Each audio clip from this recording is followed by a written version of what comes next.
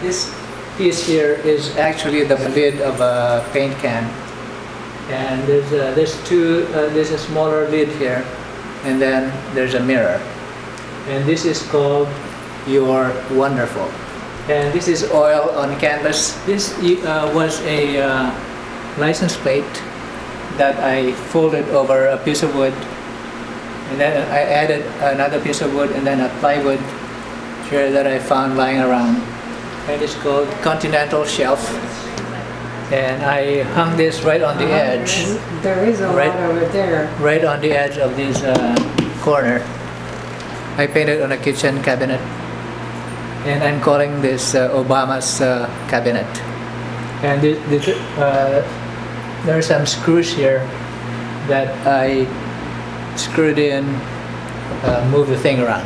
Was just for the practicality of moving it around while you were creating yeah, it? yeah, because these are pretty thin, and uh Uh-huh. I, I didn't want to uh, hang. To I mean, I have mean, your yeah, hands my, it. yeah. Yeah. These three are old welded steel works. They were uh, enamel, white enamel on uh, welded steel. And what I did uh, last month was just add the oil paint.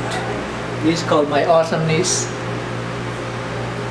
This is a rebar metal, and this is a, uh, axe head. Axe head. And this is uh, try anything. That's why I try to do anything. The second one? It's called This one. try anything. Try anything. Yeah. And the third one? The internet. Although I'm thinking of calling it the devil is the internet, but right now the internet is probably good enough. Can you show us also uh, the other side? So Oh, yeah. very The, uh, whimsical. This is actually uh, reversible.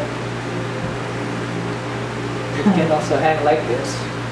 If you get tired of So looking. it really, it could hang from the top. Yeah, yeah, it Doesn't have hang to be up. on the It can on the also hang wall. from the ceiling. All these uh, works are uh, still wet because I just painted them a few weeks ago. Oh, still now? Uh, spots where that I know that I did not paint. That's how I Uh, so you can touch them. those. That's how I carry them. And you use pretty Oil. uh, thick paint? Yeah, pretty thick paint. So it takes a while to, to Dry. dry. Yeah. Thank you, Yana.